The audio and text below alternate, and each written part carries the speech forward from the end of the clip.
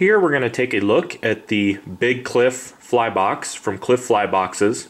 It's a nice little heavy duty box, nice thick plastic, nice solid latch as well.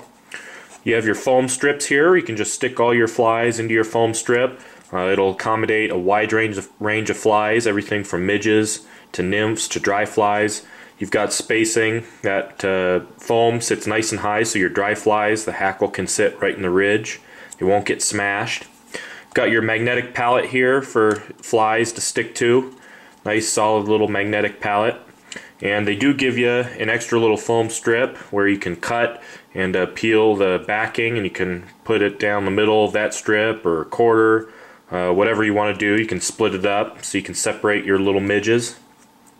And another little item it comes with is a little piece of monofilament.